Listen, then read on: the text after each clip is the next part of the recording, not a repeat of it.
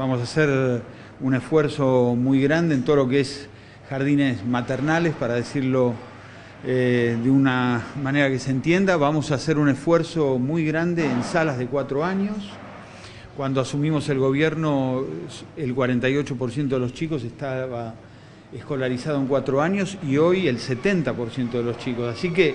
este plan que estamos presentando, que es un plan federal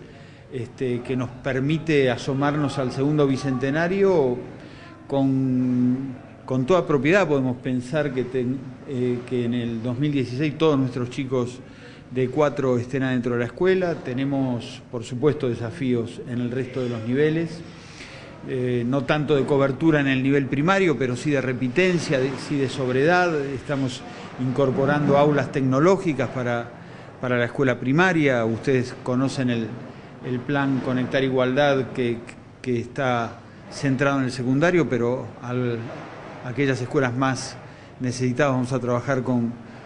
con este, aulas tecnológicas, vamos a trabajar en ese gran desafío que es la escuela secundaria, seguir teniendo una cobertura como la tenemos o mejor y mejorar, por supuesto, en los egresos. Y para sintetizar, el otro gran componente del plan es la formación docente, no solo la formación inicial, la formación continua también. Se están recibiendo por primera vez ahora este, aquellos alumnos que han hecho cuatro años de formación docente,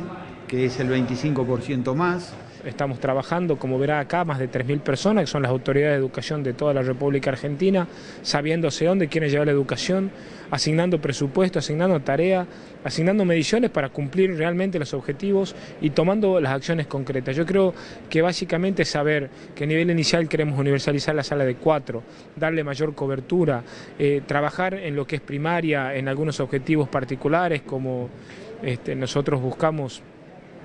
básicamente tener una jornada extendida, trabajar en la trayectoria de nuestros niños, el bloque pedagógico, el tema de la aceleración, de verdad garantizarle una educación de calidad a nuestros niños en secundaria, terminar con la cobertura, también trabajar en la finalización de los estudios, trabajar sobre los planes de mejora. A eso quiere decir que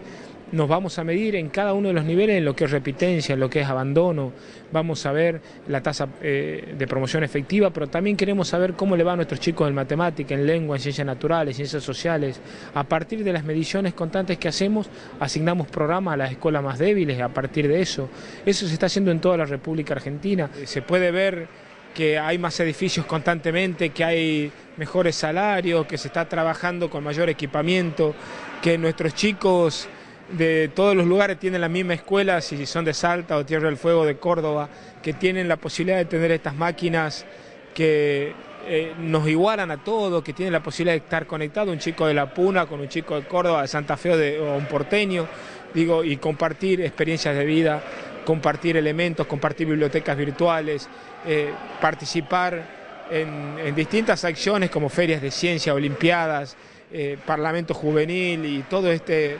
eh, aspecto se ve reflejado todos los días en, la mayor integración entre todos los argentinos. Yo creo que tener un presupuesto de esta magnitud, cuando este era lo que pagábamos de deuda hace unos años, es una cosa eh, grandiosa y una gran decisión política de nuestra presidenta.